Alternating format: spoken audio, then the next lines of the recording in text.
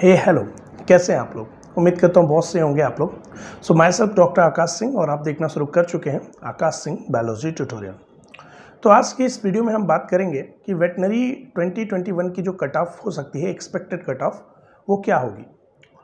अभी सबसे पहले हम अगर कट ऑफ़ की बात करें तो पिछले साल के कट ऑफ़ पे थोड़ा हम ज़ोर डालते हैं समझते हैं। देखिए, पिछले साल का जो कट ऑफ़ रहा, वो अनरिजर्व कैटेगरी के लिए वो फाइव ट्वेंटी फाइव तक लास्ट मॉपअप राउंड में मिला था। ओके। तो अभी इस साल की कट ऑफ़ क्या हो सकती है? बहुत छोटा सा वीडियो मैं बना के आपको बता दे रहा हूँ कि एक्सपेक्टेड कट ऑफ़ क्या हो सकती है और उसी के बेसिस पे आप काउंसलिंग कराएँगे। सबसे पहले मैं आपको यहाँ पे एग्जैक्ट नंबर नहीं बताऊँगा एग्जैक्ट मार्क नहीं बताऊँगा। मैं आपको बताने जा रहा हूँ एक एक्सपेक्टेड कट ऑफ़ है और वो भी एक रेंज में बता रहा हूँ। अभी जितनी भी चीज़ें रेंज में बता रहा हूँ, एक पर्टिकुलर रेंज होगा, इसका जो भी cut off expected cut off के बारे में बात करने वाला हूँ। तो उसमें कैसा मैं रेंज इसलिए दे रहा हूँ क्योंकि कई बार क्या होता है, अगर सपोज़ मैंने एग्जैक्ट ऐसा बोला कि 528 राइट?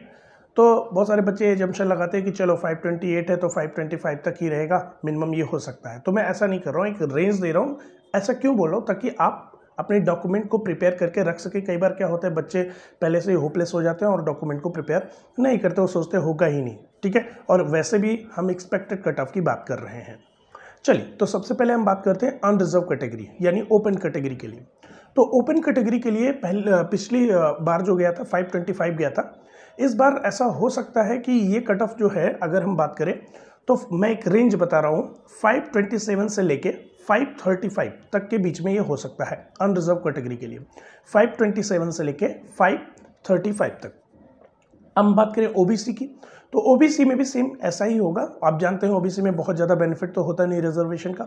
और ईडब्ल्यूएस e में भी यही है तो 527 टू 535 ये आप अनरिजर्व और ओबीसी और ईडब्ल्यूएस e के लिए ये मेरी तरफ़ से एक्सपेक्टेड कट ऑफ़ हो सकते हैं।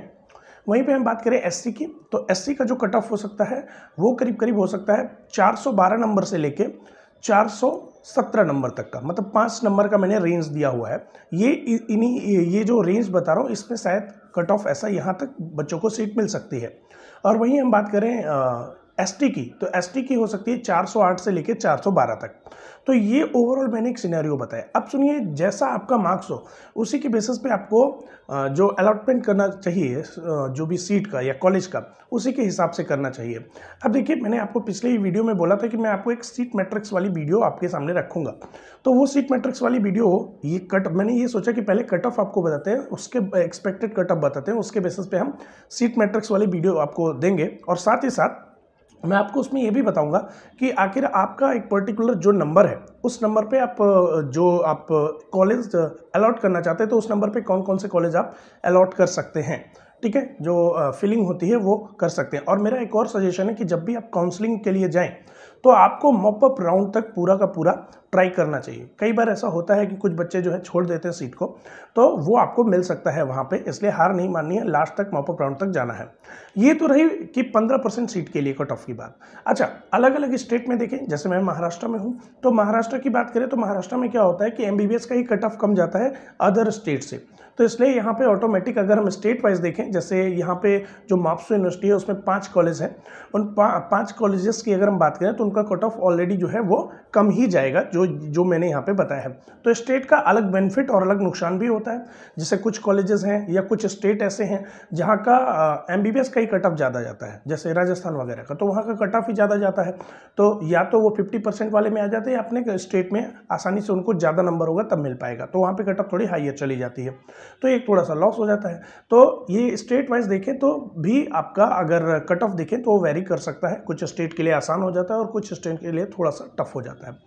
तो उम्मीद करता हूँ कि आपको ये वीडियो थोड़ा सा हेल्पफुल लगी होगी। मैं बहुत ज़्यादा कट ऑफ़ के बारे में मतलब बहुत बड़ा वीडियो नहीं बनाना चाहता। एक छोटा सा वीडियो जिससे आपको अंदाज़ा लग जाए आपका बिल्कुल भी टाइम बेकार ना हो। तो उम्मीद करता हूँ समझ में आई होंगी चीज़ें। चलिए अभी तक के लिए इतना ही। बाकी की नेक्स्ट जो मैंने वीडियो बताई है, वो ज़रूर मैं सीट मैट्रिक्स वाली वो यहाँ पर डालूँगा। अगर सही लगे इन्फॉर्मेशन तो लाइक करें चैनल को सब्सक्राइब करें। Thank you thanks a lot